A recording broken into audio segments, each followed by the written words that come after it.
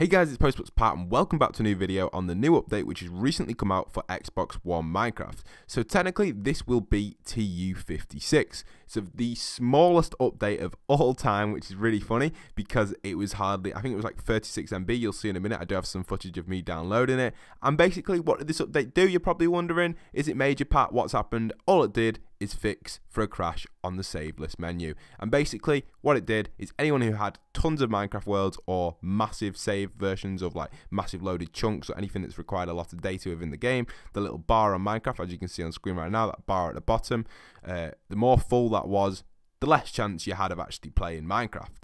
So yeah, that's basically what happened, and they fixed it so everyone now can play Minecraft. Other than that, that's all they fixed in this update all duplication glitches, everything like that is 100% working, thank God. So anyone who wants to duplicate or use any sort of duplication glitch or anything like that, feel free to because it all is still working in the recent videos which I've covered it in. So that's awesome. I do find it really funny how the update was just such a small file size. I've never actually seen anything like this before in Minecraft on the Xbox One Edition.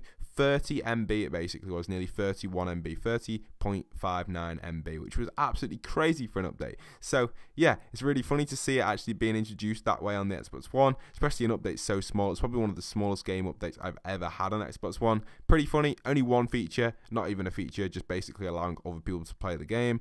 And I believe it's only come out for Xbox One. So technically it's not TU56, but technically it is as well. So we'll have to see the way the numbers go and the way other YouTubers do with the numbers as well, because it is kind of confusing because it hasn't come out for Xbox 360, I don't think. So that means that it's you know what I mean? It's been two updates for Xbox One, whereas there's only been one for the other consoles. So it puts the Xbox One slightly ahead of the numbers, which makes it TU56. But we'll have to see exactly what's going on with the numbers and stuff later on. And obviously we've got Bedrock Edition coming, which is the Pocket Edition, like convert type thing for the console edition.